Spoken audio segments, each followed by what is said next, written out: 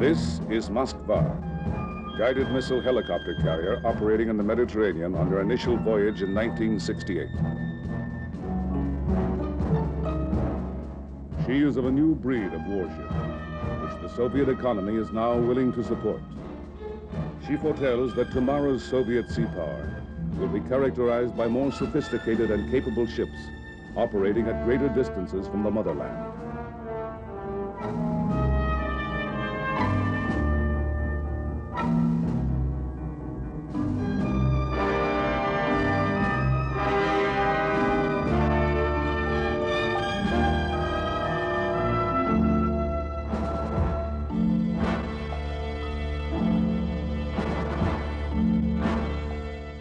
The Navy of the Union of Soviet Socialist Republics is in current standing the second ranking Navy in the world. One by one, ship by ship, Soviet sea power shows the flag, makes its presence felt. The Red Navy today has strategic mobility. It moves ships great distances from home ports and transfers them freely between the Baltic, the Arctic, the Black Sea, and throughout the Mediterranean. The Russian system of interconnecting internal waterways permits the transfer of submarines, destroyers, and small ships between the Northern Fleet, the Baltic Fleet, the Caspian Flotilla, and the Black Sea Fleet. The Northern Sea Route provides even more mobility during late summer and fall. The Northern Fleet, based on the Murman coast, is the primary Soviet fleet. Its ships and submarines cruise the Arctic and the entire Atlantic. Aircraft from this northern region can fly as far as Havana and have been seen on reconnaissance flights near Newfoundland. The Soviet Pacific Ocean Fleet operates from a system of bases from the polar regions down through the Kuriles to Vladivostok. The rise of the Russian Navy parallels the emergence of the Soviet Union as a strong competitor for world markets. The rapid expansion of her sea power has enabled Russia to project her national interests around the world.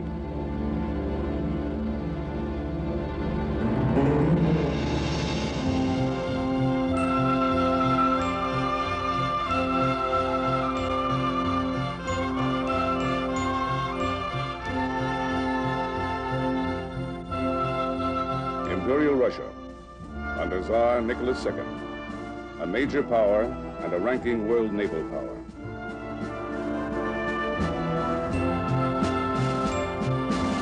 Imperial Russia boasts two main fleets, the Baltic Fleet in the west. In the south, the Black Sea Fleet and Caspian Flotilla. In the east, the Amur River and Siberian flotillas. In the Imperial Fleet of World War I, the Tsar can count some 11 dreadnoughts, 12 battleships, 22 cruisers, and at least 56 submarines.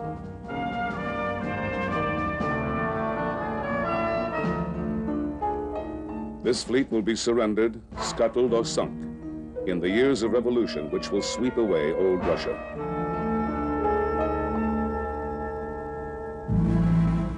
The royal family, the Tsar, Tsarina, Crown Prince, and four royal princesses. Princess Anastasia, a young girl, roller skating on the deck of the royal yacht.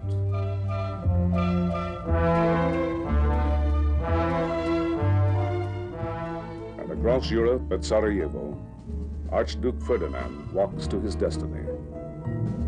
And Europe is at war.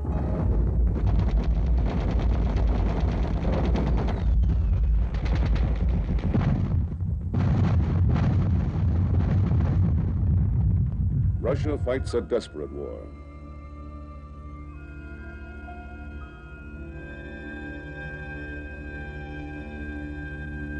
In the south, the Black Sea Fleet mounts a successful amphibious assault against the Turks.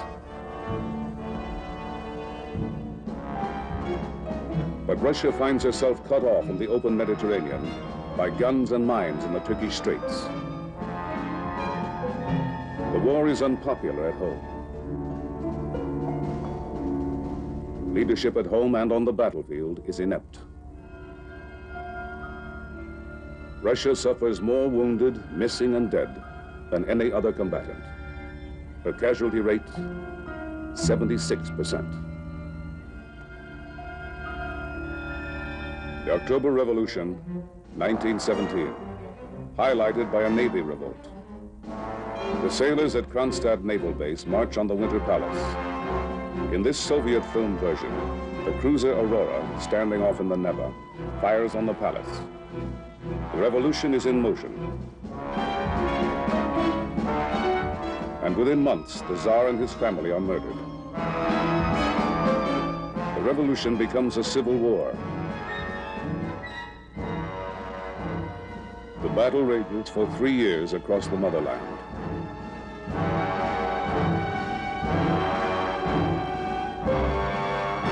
Admiral Kolchak aboard one of his ships. He receives heavy Allied backing as he leads the White Russian forces in Siberia. He will be defeated and executed by the Bolsheviks.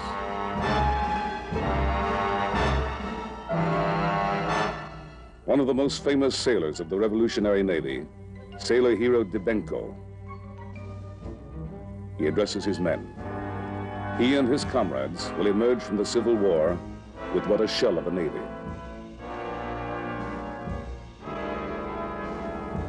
In the Black Sea, a Russian battleship is torpedoed and sunk by a Russian destroyer. Seven battleships, two cruisers and eight destroyers, submarines and other ships are lost at Sevastopol. Two-thirds of all the warships at Novorossiysk are run aground or blown up by their crews.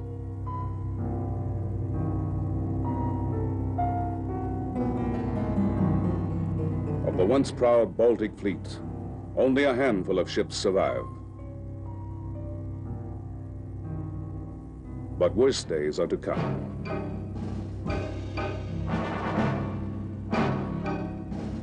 March 1921. Again at Kronstadt. Sailors revolt in a second rebellion, this time against the Bolsheviks, demanding reforms promised by the Bolsheviks but not delivered. In these government films, the Red Army storms the bastion Kronstadt over the frozen Gulf of Finland. The defenders hold off three attacks, and when overrun, the survivors are shot. The Navy, dishonored and all but destroyed, stands condemned. And Lenin not only distrusts the Navy, but doubts its usefulness. 1924, Soviet Russia gains recognition from Western powers. But the father of the revolution, Lenin, is dead.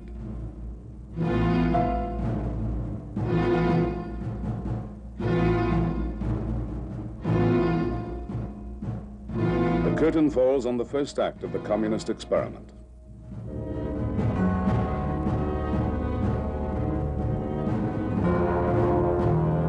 Stalin begins the next act as he sets in motion his iron rule. By 1927, two reconditioned Tsarist battleships operate in the Baltic. A small defensive navy begins to emerge. Under Stalin's regime, the first five-year plan begins in 1928 to build up Russia's industry and her defenses. The Navy receives low priority. Its first new ships are destroyers, torpedo boats, submarines, and cruisers for defense of the homeland. Battleships and aircraft carriers will have to wait for later years. Aircraft construction and parachute training are a part of the new military buildup. It becomes a public sport as well.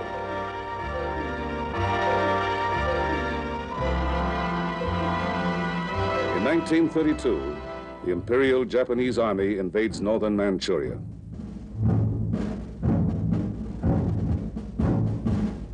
Stalin orders the buildup of a Pacific Ocean fleet. 1933, the start of the second five-year plan.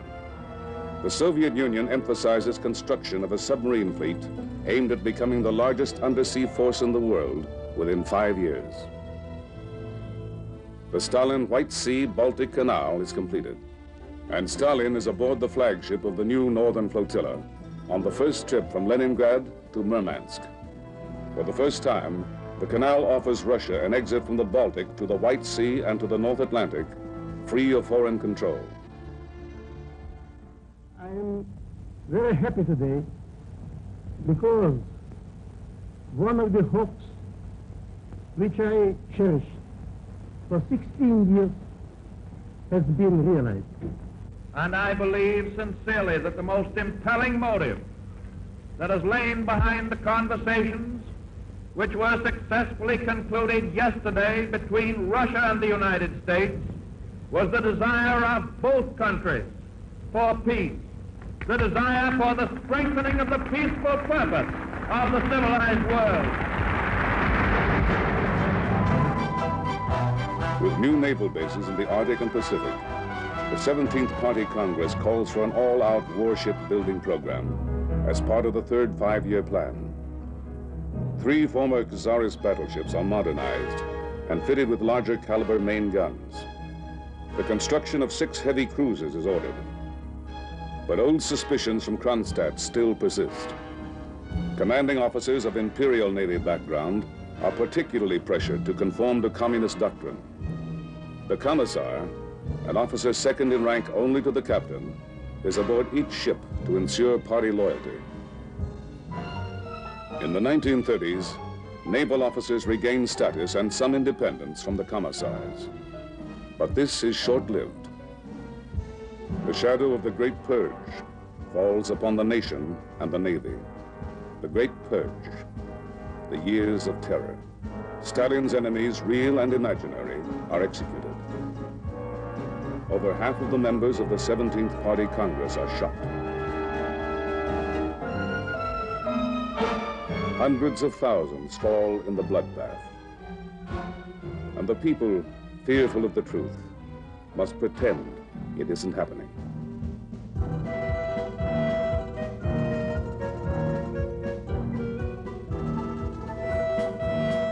The estimate? Half of the Red Navy's officer corps is dead. The commander-in-chief of the Navy, purged. Commanders of the Baltic Fleet, the Northern Fleet, the Black Sea Fleet, purged. All eight admirals alive at the start of the purge are liquidated before it ends. August 24th, 1939. The Soviet Union and Nazi Germany sign a non-aggression treaty.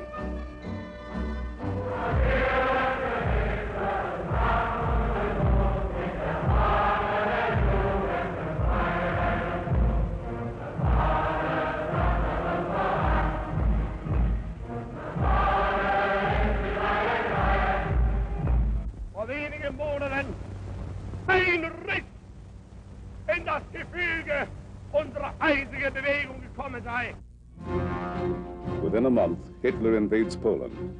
Stalin follows suit and occupies eastern Poland.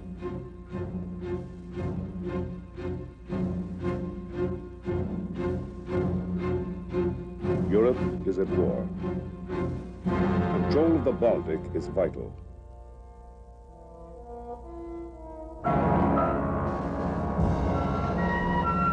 German naval units move on the treaty port of Danzig and take ports in the Polish corridor.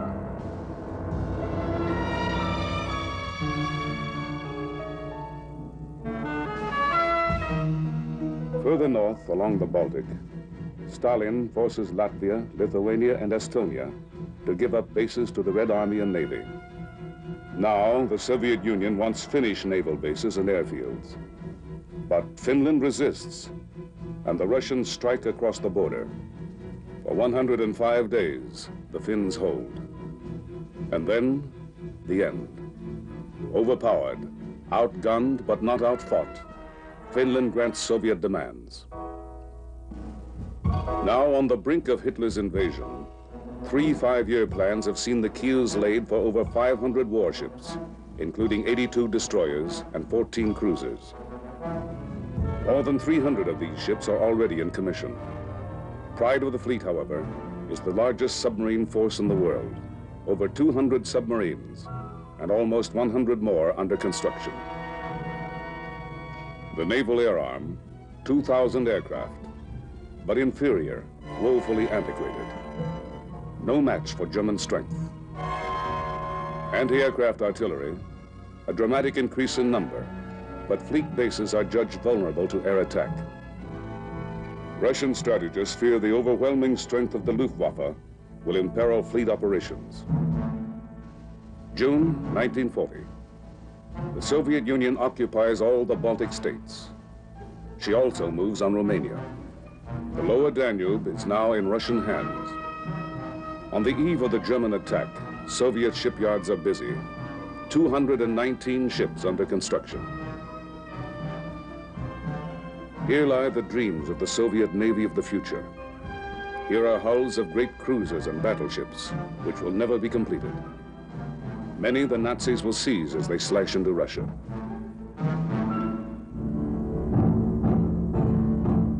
Soviet fleet bases are vulnerable from the land. The German plan, cut off, isolate and eliminate the Red Navy as a factor in the war. The Navy turns to defense and to amphibious operations in support of the Red Army. The 10th Army Corps is evacuated from the Hanko Peninsula and from Tallinn on the Baltic. In the south, the Black Sea Fleet infantry serve with the Red Army as it is driven toward the Caucasus. Thousands are cut off and taken by the Germans. During the first years of war, Soviet naval operations at sea are confined to minor actions, patrol and supply of bases. In the north, the Finns quickly cut the White Sea-Baltic Canal. With the Germans, they blockade the Gulf of Finland, largely containing the Red Submarine Fleet. A few break the blockade and operate in the shallow Baltic. But throughout the war, Russia's huge submarine fleet is of little use, except for limited action north of Norway in the Arctic. 1944. The Red Army is solidly on the offensive. The Navy supports in over 100 amphibious landings on inland waterways, behind and on the flanks of the enemy. In the south, landings in the Crimea.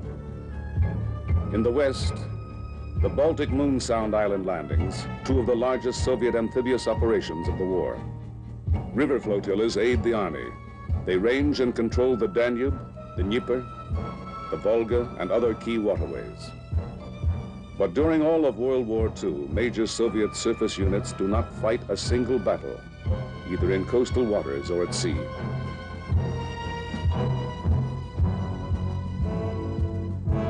Aircraft account for more than one half of the enemy ships sunk. Naval aircraft fly over 300,000 sorties and destroy over 5,000 enemy aircraft.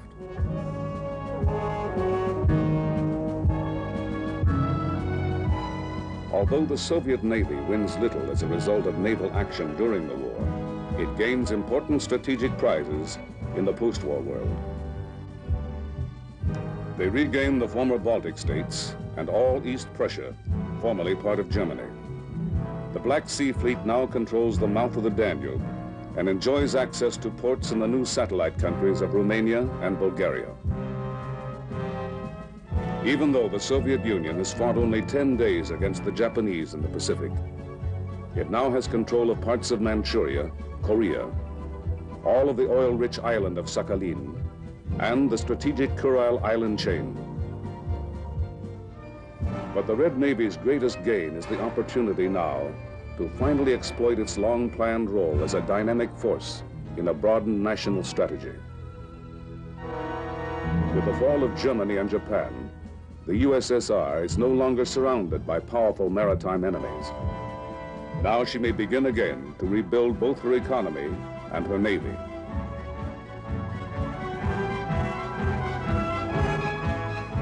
Soviet Union immediately registers all captive ships. And again, the Soviet Navy must for the time being concentrate on coastal defense, with promise of major warships to wait, but not for long. The post-war Navy places the Soviet naval officer in a special class. A conscious effort is underway to create an elite corps and foster naval tradition even in the cadet corps, usually drawn from officers' families. East European satellites are directed to rebuild shipyards and provide ships for the new Soviet merchant marine and high seas fishing fleet. while Soviet shipyards will concentrate on warship construction. Polish, East German, Bulgarian, Romanian, Yugoslav, and Albanian ports are now available to Soviet ships.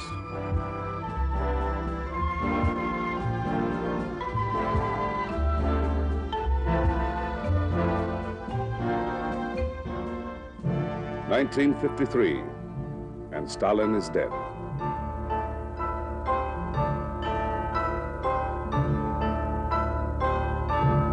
Khrushchev rises to power, and with him come vital decisions as to the level of technology to be employed in the Navy of the future. Now the Soviet Union looks to nuclear power. It develops long-range cruise missiles launched from aircraft, ships, or submarines, as well as submarine-launched ballistic missiles.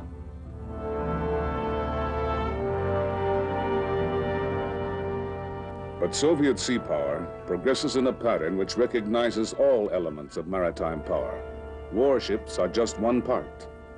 What emerges is a collective national force, a balanced modern merchant fleet, oceanographic service, and high seas navy, all under unified government direction. In the early 60s, the Soviet merchant fleet is in 11th place among the fleets of the world. 1965, the merchant fleet of the Soviet Union now ranks in sixth place. 1968, there are now almost 1,400 seagoing merchantmen. The 1980 goal is to more than double the size of the present merchant fleet.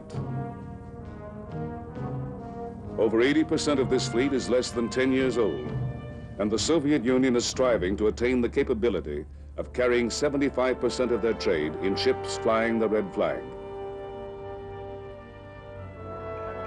These ships call at some 800 ports in 90 countries. To service the world markets for oil, the Russians have over 300 tankers. Western suppliers have been dislodged from their long-established markets by these ships. The Soviet high seas fishing fleet is the most modern in the world. With 4,000 vessels, its catch has more than doubled in the past 10 years. This fishing fleet supplies the needs of a great many emerging African nations.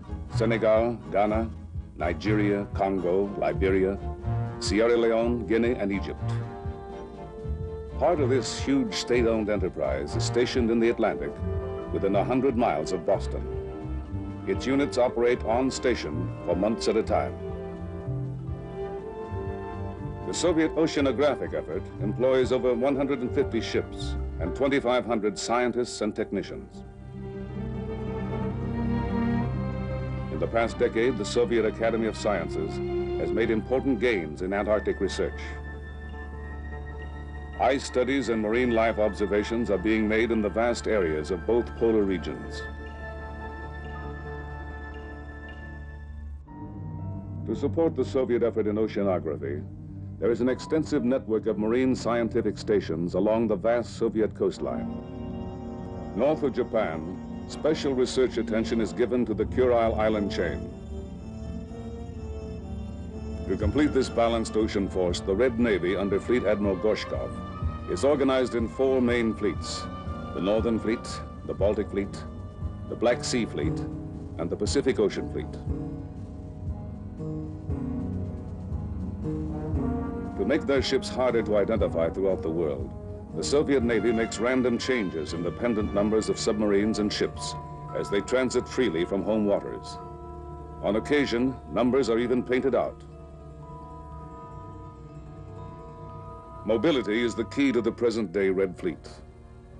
Now, by using ports in client and satellite countries, they have better access to the North Atlantic and Mediterranean than in years past. In the Mediterranean, replenishment anchorages provide logistic support without international obligations.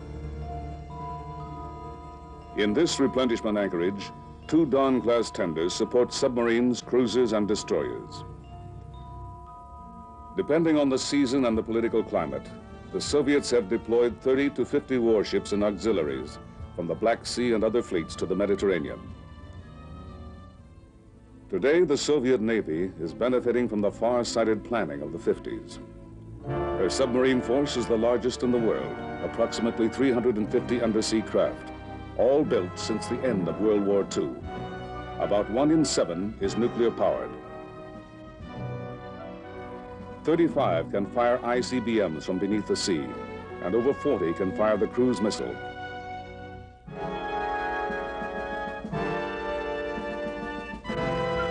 Naval Air Arm has some 800 fixed-wing aircraft, including 150 helicopters and 500 jet bombers, most of which can fire cruise missiles.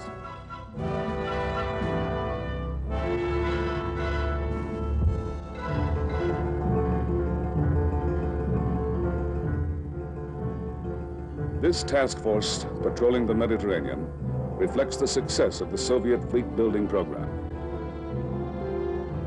A product of the early Khrushchev era is the Kynda-class guided missile cruiser.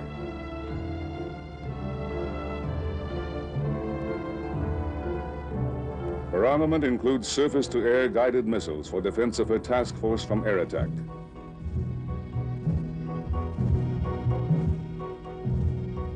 Among 200 destroyer or escort ships in the Red Fleet, six or more of this class are operational in 1969. Another new design in the modern Soviet Navy, this Kashin-class guided missile frigate. The largest warship in the world having gas turbine propulsion, she is capable of 35 knots. This is Moskva. She is the largest Soviet Navy ship armed with guided missiles, guns, torpedoes, and helicopters. Boasting an impressive array of sophisticated electronic sensors, she represents the current high watermark in Russian ship design.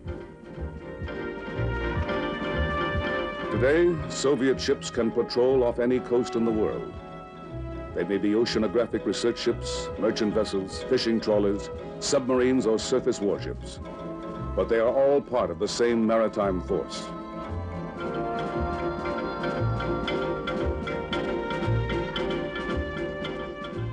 Closely commanded through a modern system of communications, they can respond rapidly anywhere in the world to any situation.